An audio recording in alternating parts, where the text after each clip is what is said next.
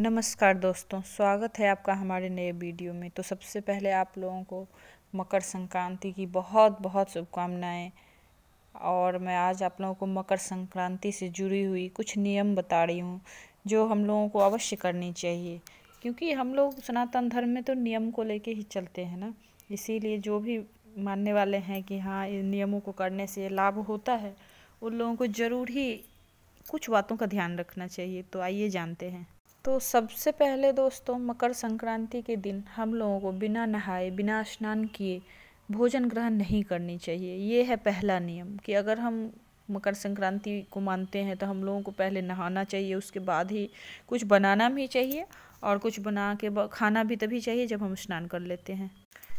क्योंकि कहते हैं दोस्तों कि अगर इस दिन हम बिना नहाए भोजन ग्रहण करते हैं तो माँ लक्ष्मी हमसे नाराज़ हो जाती हैं।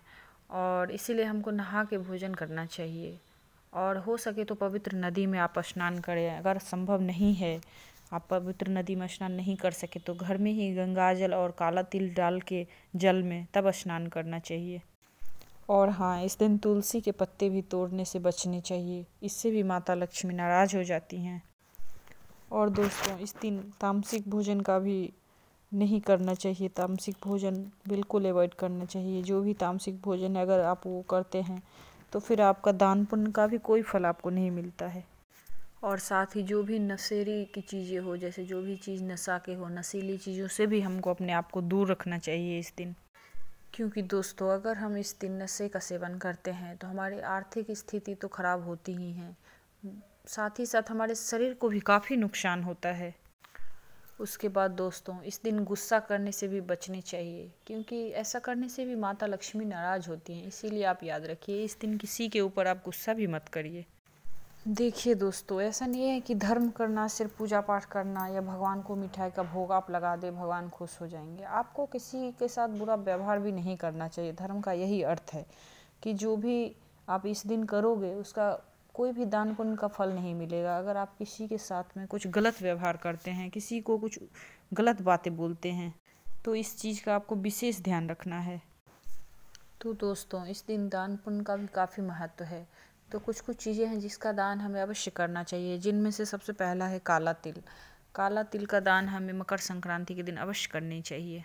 क्योंकि इस दिन अगर काले तिल का हम दान करते हैं कि शनि देव की जो कुदृष्टि होती है, उनसे भी हमको मुक्ति मिलती है। और दूसरा है दोस्तों, इस दिन हम लोगों को खिचड़ी, दूसरा है खिचड़ी। खिचड़ी का दान हम लोगों को अवश्य करना चाहिए और शास्त्रों में भी मान्यता है कि अन्न का दान सबसे बड़ा दान होता है, इसीलिए हम लोगों को खास तौर पर इस दिन खिचड़ी बनानी चाहिए, खानी भी चाहिए और दान भी करनी चाहिए।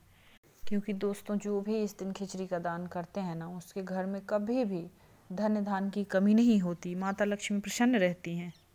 और तीसरा है दोस्तों, अगर आप इस दिन जो भी आप गुड़ का दान करेंगे, चाहे स्त्री, पुरुष, कोई भी गुड़ का दान करेंगे तो भगवान सूर्य भी आपसे प्रसन्न रहेंगे। और चौथा है दोस्तों, इस दिन गाय के घी का दान भी बहुत ही महत्वपूर्ण माना गया है।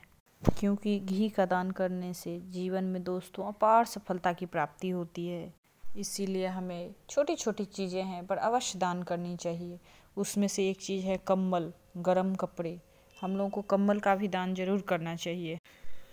क्योंकि दोस्तों कहते हैं कि आपका कोई भी ग्रह अगर ख़राब चल रही है तो आप अगर इस दिन कम्बल का दान करते हैं तो आपके जीवन में वो ग्रह जो खराब दृष्टि देते हैं, वो शुभ में बदल जाते हैं और उनकी अच्छी दृष्टि आप पे आती है। इसीलिए इस दिन कम्बल का दान भी अवश्य करनी चाहिए।